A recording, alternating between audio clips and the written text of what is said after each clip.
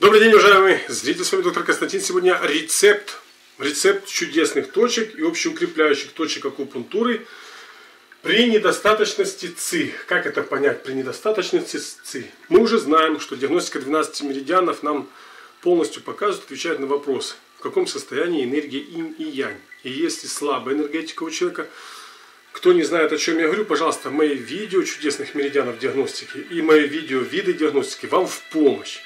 Смотрите внимательно, и тогда вы ответите на этот вопрос. В каком когда надо использовать данный рецепт? Данный рецепт мы используем при недостаточности. Когда у человека слабая энергетика, вялая, вот, в ней нет нормы, в ней нет жизненного потенциала. Человек ослабленный из-за того, что он таскает свое физическое тело, но при этом у него нет энергичности. Он что? Не чувствует в себе жизни. Он чувствует в себе то, что он работает на свое тело, а не тело на человека. Вот, вот это слабость, вялость может породить все различные болезни от А до Я. Мы как-то упустили, ну, да, на лекции я напомню, что согласно китайской восточной медицины, чудесные меридианы показаны при свыше 400 видах заболеваний. Хотя я со своей колокольни скажу, мы уже знаем, что Восток дело тонкое, и мы не лечим болезни. Мы восстанавливаем инь и янь гармонию, от чего болезни, что в гармоничном теле не могут жить. Они уходят.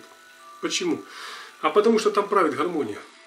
А вот когда нету энергии жизненной, вот там зарождаются все различные болезни. Почему? Потому что нет энергии для существования. Есть только для, скажем так, для поддержания какого-то жизненного тонуса, но человек не рад своей жизни.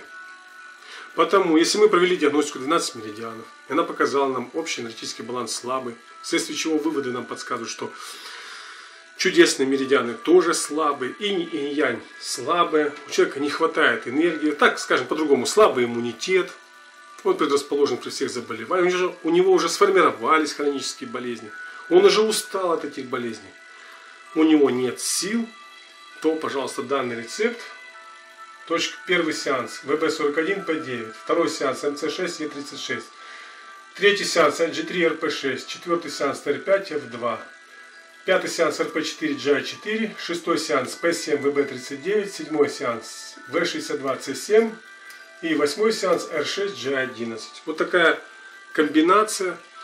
Вот. На первый курс достаточно провести человеку, у которого ослабленная энергетика. Почему так мало точек? Мне вот многие задают вопрос. Вот мы были у китайца там, или у корейца, он взял в руки 20 иголок и 20 точек наколол, а вы даете всего лишь 2 точки. Но помните, уважаемые зрители, во-первых, когда вы продиагностировали, вы знаете, сколько энергии в человеке. Это вам огромная подсказка. Вы уже не будете тыкать абы куда, либо массажировать абы шо, как пишут тут там некоторые. Ой, нашим прибором можно работать и 2, и 4 часа, есть такие. Некоторые говорят, в пирамиде можно и спать, другие там говорят, Монитную воду можно там 3 литра в день надо выпивать. Ну, знаете, людей очень много. Очень много людей, которые пытаются быстро восстановить баланс. Не пытайтесь. Не получится у вас ничего. Сколько человек болел, умножайте на 2. А потом он выздоровеет. Вспомните мои слова. А те, кто не хотят жить вот, эти, вот этой вот теоремой, что умножайте на 2, пожалуйста, ищите себе людей, которые там по щучьему велению, по моему хотению – по супер какому-то там рецепту поставить нас на, вас на ноги. Как быстро поставят, так быстро вы израсходуете энергию. По капельке, помните, собирается ведро водички. По капельке. Вот по капельке энергия приходит в наши меридианы. Вот эти капельки вы должны драгоценно сохранять, чтобы он наполнился этот резервуар. И все. Вы потом черпали с этого резервуара энергию. В данном случае, если человек слабенький, вялый, диагностика показала, вот вам рецепт – вы можете проработать первый курс. На второй курс вы можете уже поменять точки, взять другие общеукрепляющие. Вот можете по своему желанию добавить еще одну точку сюда.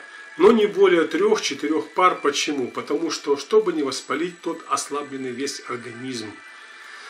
Почему? Потому что энергия пребывала в слабости, вялости, а потом вы резко даете энергию, что энергия начинает работать, она воспаляет все те каналы, которые не работали, человек получает негатив, вследствие чего, что он говорит, вы плохой врач, лекарь. Почему? Вот стало все болело, мне стало хуже. А почему? Потому что его организм не привык к этой энергии, которую вы дали очень много, либо я дал очень много. Он привык что к слабости, вялости, к вот этой вот апатичности. Потому потихонечку, по чуть-чуть энергии нужно что? Восстанавливать. И от вас, как рефлексотерапевта, либо как человека мудрого, должны исходить слова консультации, в которых заложено. Пожалуйста, не стройте иллюзий, что вы очень быстро восстановитесь. Нет, постепенно. Постепенно, поэтапно. Вот так вот такой рецепт. Вот этот рецепт можно работать при недостаточности ЦИ.